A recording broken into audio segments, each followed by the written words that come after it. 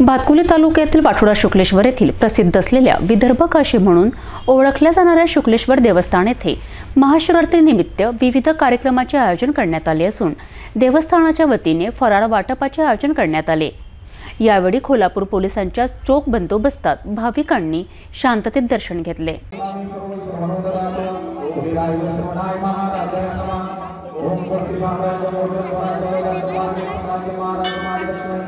Samantha Tagliani sta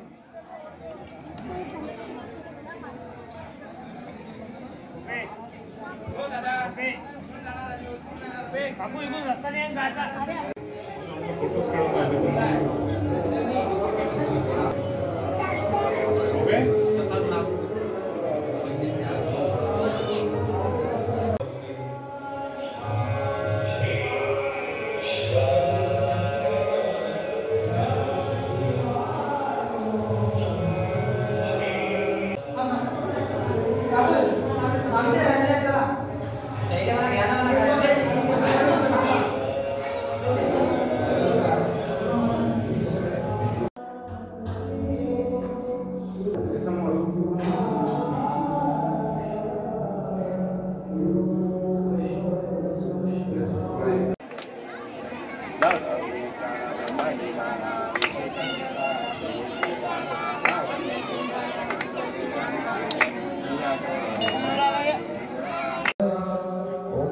तत्पुरुषाय विद्महे महादेवाय धीमहि तन्नो रुद्र प्रचोदयात्।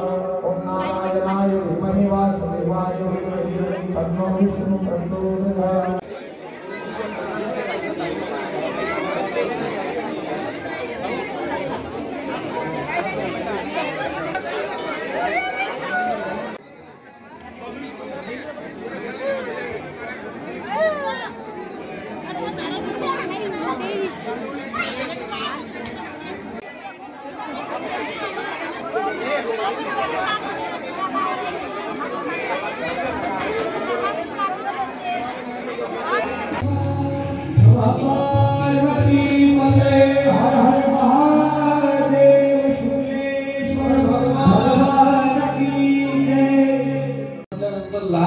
लग्न जुळत नव्हतं.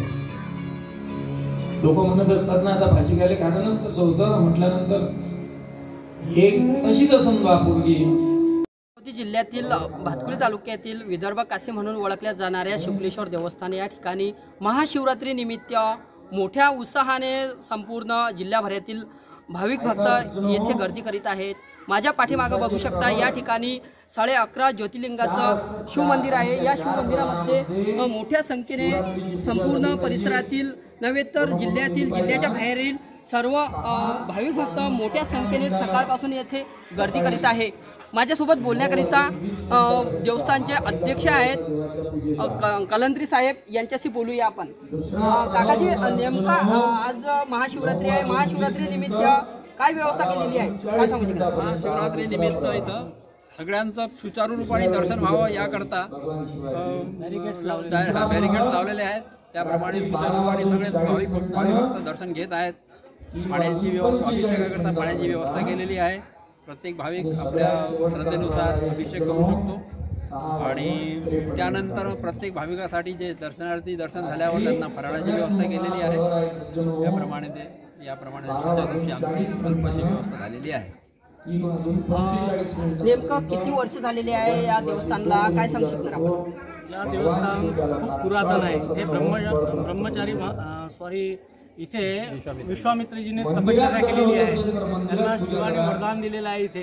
आणि इथे संत ब्रह्मचारी महाराज यांनी एका मोठ्या भुयारात तपश्चर्या केली आहे. संत गुलाबराव महाराज चांदूर बाजार यांनी कात्यानी व्रतची दीक्षा इथूनच घेतलेली आहे.